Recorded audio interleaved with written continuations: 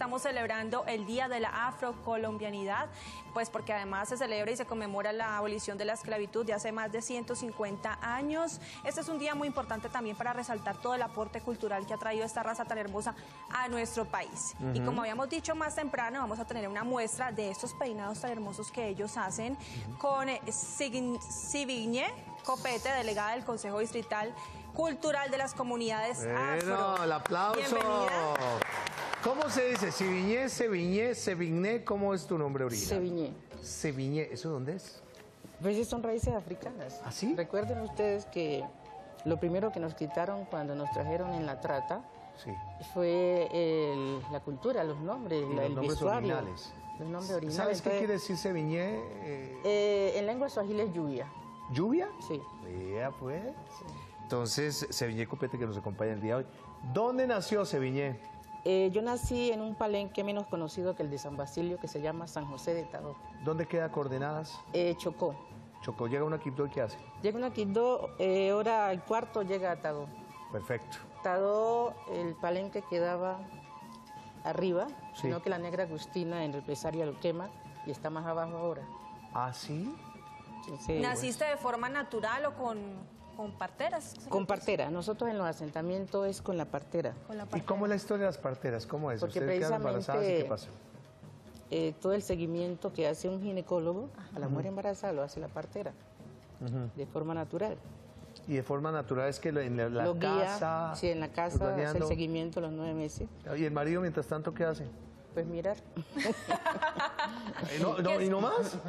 El marido mira lo que la partera hace. Ah. ¿Qué- Y- qué y- y- y, deposita tiene? toda la deposita toda la confianza Sí, porque claro. sabe que es seguro. Claro. ¿Qué Eh, significado para ustedes tiene o qué simbolismo el, el tema de que la partera esté acompañándolos desde el momento, desde el primer mes de embarazo hasta el momento del parto? Eh, porque la partera tiene unos secretos ancestrales. Por ejemplo, eh, la ombligada. La ombligada únicamente lo hace la partera. ¿Cómo es la obligada? Es como decir en, acá en la, en la parte occidental eh, una carta astral.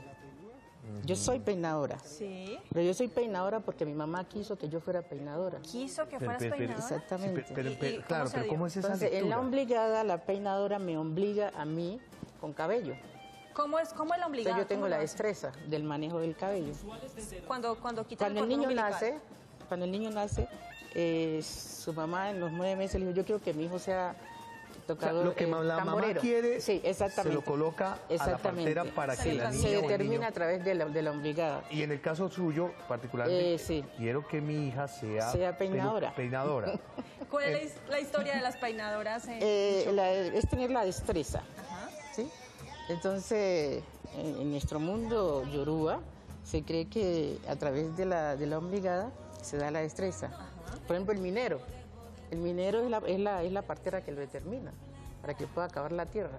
Ok, y hoy El, en to- día... el tamborero, todo eso. sí. Claro, eh, se venía- y hoy en día con, digamos, con el mundo contemporáneo han cambiado un poco también las aspiraciones de las mamás. Por ejemplo, yo quiero que mi hijo sea ingeniero electrónico, o quiero que mi hijo sea astronauta, o no, o sigue siendo muy Bueno, tradicional. Eh, ya la parte, ya, la, ya esa parte, nosotros estamos hablando de la parte de los oficios ancestrales. Eso es lo que determina la partera. Ajá. Porque ya la parte tecnológica, pues... Es otra película. Ya es, Ya es las otra carreras película. donde termina otra cosa. Ese, te- Entonces nosotros por lo general tenemos, aparte de nuestras carreras eh, universitarias, tenemos nuestro oficio. Claro. ¿Cómo llega a Bogotá? ¿Y hace cuánto? Eh, hace 34 años vivo en Bogotá y vine buscando oportunidad como todos los negros del Pacífico ¿Sí? y negras. Pero llegaste aquí bus- buscando oportunidades como de trabajo, de estudio, de estudio. porque en los asentamientos y, y- y, pues ahora ha mejorado un poco, pero antes era más difícil. Entonces yo vine a Bogotá a estudiar. ¿Y en este momento a qué te dedicas, Evin? En este momento me dedico de lleno a las comunidades negras En Bogotá. en Bogotá. ¿Ayudas a la comunidad negra de cualquier parte Exactamente, aquí tenemos, eh, a partir de la Constitución del 91, ganamos un espacio en la Constitución, valga la redundancia, eh, a través de un tran- del transitorio 55, el artículo transitorio 55 de la Constitución ¿Que del reza 91, más o menos qué? eh, que da el desarrollo a la Ley 70 de Comunidades Negras.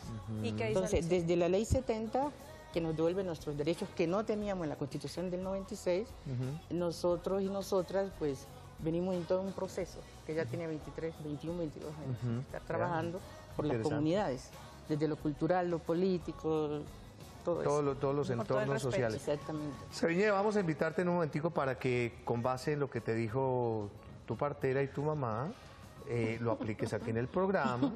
Te tengo una persona de blanca, eh, rubia, para que también de pronto con tu arte, ¿no? Eh, podamos- eh, eh, Princesa Celeste. la pri- eh, ella ella va- tiene un combate de lucha libre y ahora se llama la Princesa Celeste.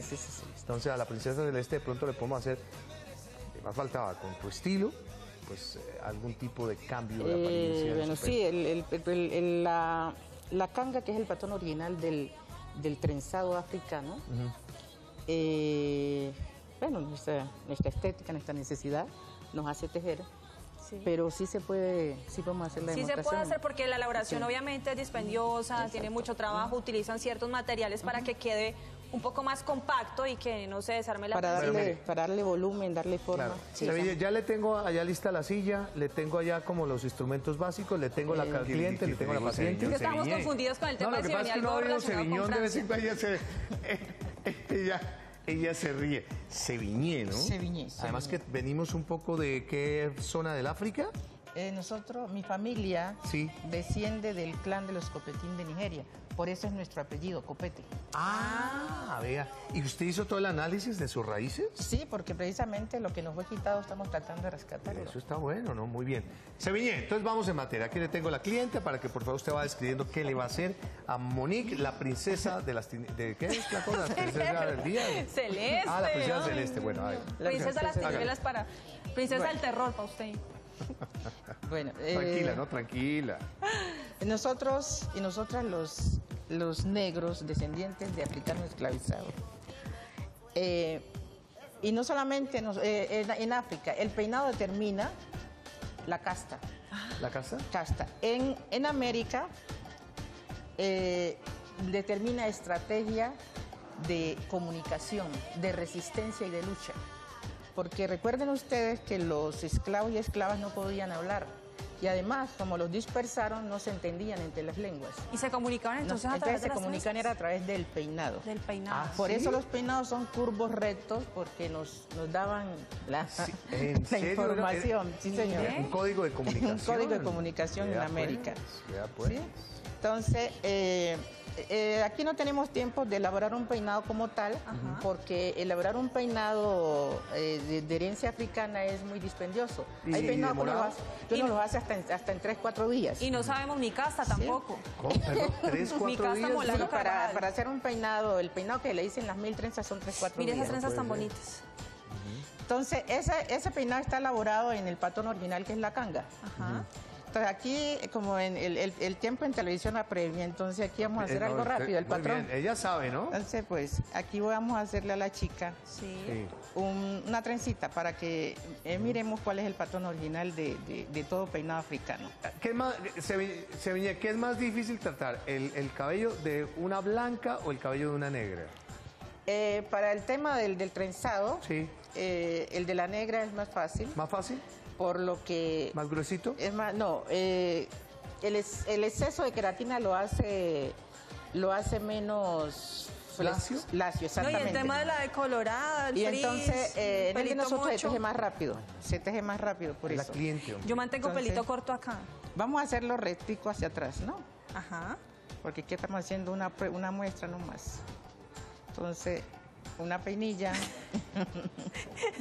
Si necesitas que me agache más. No, ahí está bien, ahí está bien. ¿Ahí estoy bien? Ok. Ahí está bien. Entonces, esto se coge en tres paticas, como cualquier trenza, Ajá. ¿sí? Sino que se guía, ¿no? Hacia atrás, que es recto. No importa que haya pelo chiquito, No importa que haya pelo chiquito. está bien templada. Me acuerdo del colegio cuando uno hacía esos bailes. Ay, y hacían esas ay, mira, trenzas ¿y bien vos de dónde sos? De Cali, ¿ves? Ay, no. Somos pacíficos, ¿ves? Cuando estábamos en los bailes y a mí me ponían la trenza. Y no le quedan los ojos chiquitos. Listo. Este es el patrón original. Ajá. En Pero mire tan rápido que lo Porque las trenzas también las hacemos hasta en ocho paticas. ¿Las trenzas hacen qué? Perdón. hasta en ocho paticas para Me hago hacer más de ladito, me hago más de No, ladito. ahí está bien. Entonces, aquí yo ya hice la muestra de qué es el patrón original de la canga. ¿Sí?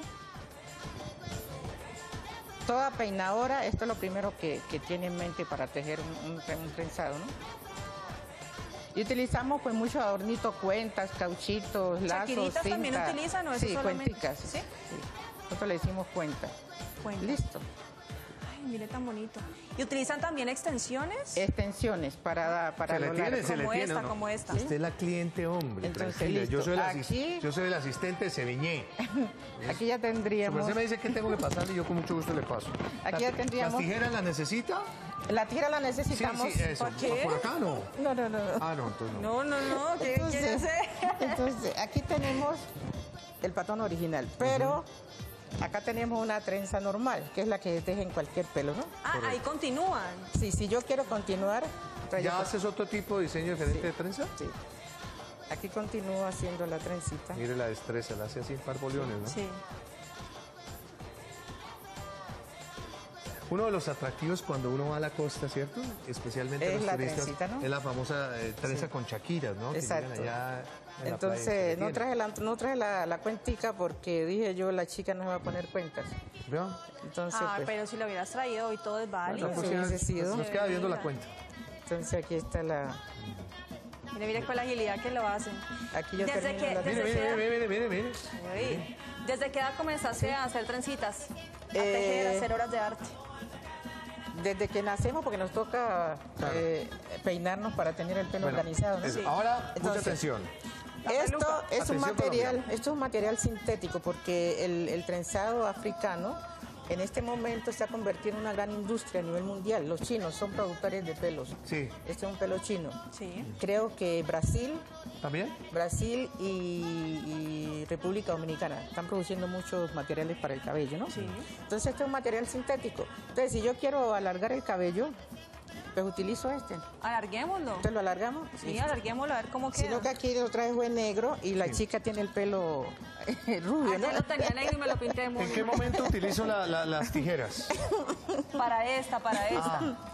Es para Para cortar cortar los pelos que tiene por acá. Mira ahí los pelos por ahí que tiene.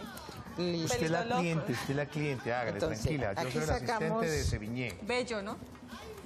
Yo siempre he tenido estos pelos chiquitos. ¿Será que haciéndome trenzas me crecen?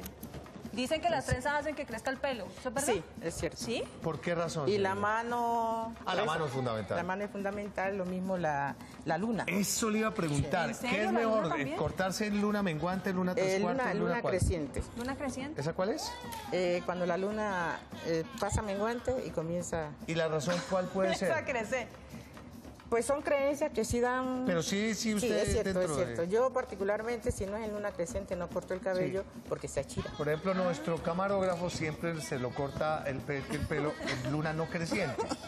Entonces pasa lo que pasa Javierito, Por ¿no? eso, por eso está calvo Javi, sí. Sí. No, pero mire que tiene mucho sentido porque la luna controla las mareas, controla to- todo lo que es agua y nosotros tenemos un gran porcentaje de líquido en nuestro cuerpo, ¿En serio?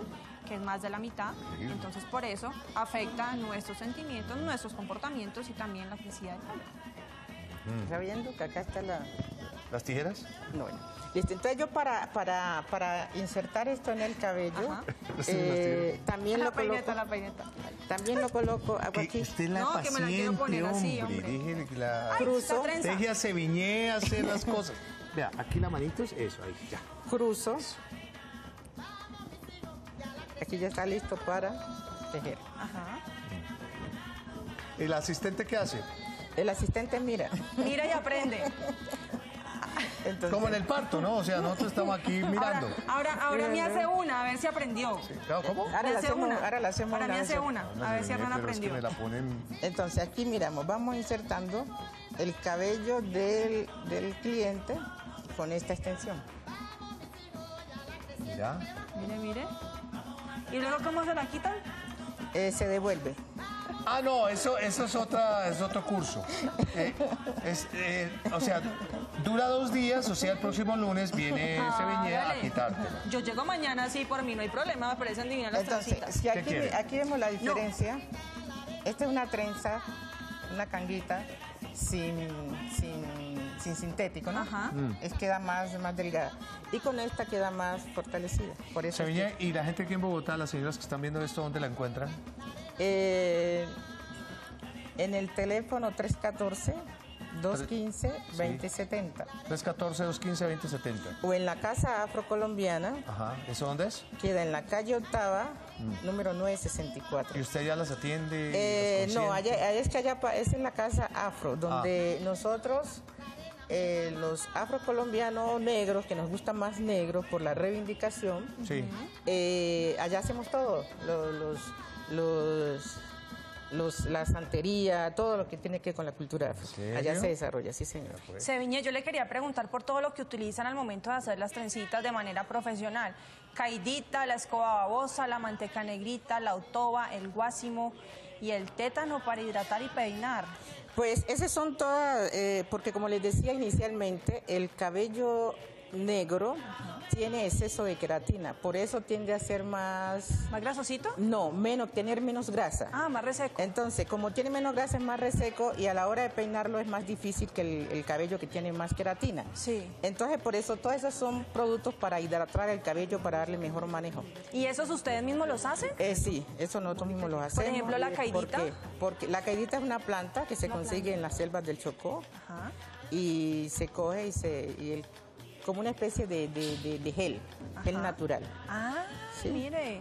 Y aparte eso pues nutre, ¿no? ¿Y la escoba babosa? La escoba babosa también es otra planta que se consigue así en la selva de silvestre en el Chocó y también sirve para lo mismo. ¿Todos son plantas? ¿La Son- también? La otoba también es una planta. Sí. Sí. Y eso le aporta también brillo, sedosidad al pelito. Exactamente, exactamente. ¿Y cómo hacen para el cuidado de las trenzas, el, el lavado Pues del agua y jabón. Solamente agua y No jabón. tiene mucho cuidado, agua ¿No? y jabón, sí señor. ¿Y cada cuánto? Para saber acá, en Por qué- eso le digo, depende la, depende el peinado porque hay peinados que duran hasta un año. Hasta Yo llevo un 15 año. años peinada, 15 años con estas 15 trenzas. ¿Y quién te las hizo? eh, yo misma. ¿Tú misma? Sí, Uy, bueno, si ya vas a manejar la técnica a otro nivel porque... sí. Entonces aquí tenemos una trenza con extensión. Sí. Mire cómo quedó de bonita. ¿Y ya finaliza? Y entonces nosotros rematamos con cauchitos, con perlitas, con lo que uno quiera darle eh, estética al, al peinado, ¿no? Sí. Mire. Me, me- me agregué como 20 centímetros de pelo. Listo. Entonces aquí está. De las trenzas que has hecho, ¿cuál es la, la más larga? En centímetros. Eh, depende del cabello. O hasta el piso puede llegar. Porque esto por lo general trae metros, dos metros, metro y, me- metro y piquito. Sí. Es lo máximo que la gente se coloca. Metro y piquito. metro y piquito. ¿Qué tal, No qué mucho. tal? A ver, y abramos por acá la otra. Listo, entonces aquí ya está, aquí están las dos formas de tejer la trenza, ¿no? Sí. Una con extensión y la otra sin extensión. Mire, tan eso ya va, eso ya va en el gusto del, del cliente, ¿no? Esperancita, yo quiero ver si, si aprendió. Sí, me la hace así con extensión, ¿cierto? Yo ayer tuve unas Entonces la parecidas. desbaratamos. No, déjelas, déjelas, tan lindas, sí. Ah, bueno, listo. Seviñé, pues muchísimas gracias por habernos acompañado en No, nuestro programa. Gracias, Sebeñé. Un aplauso grande para de tu cultura también. invitada.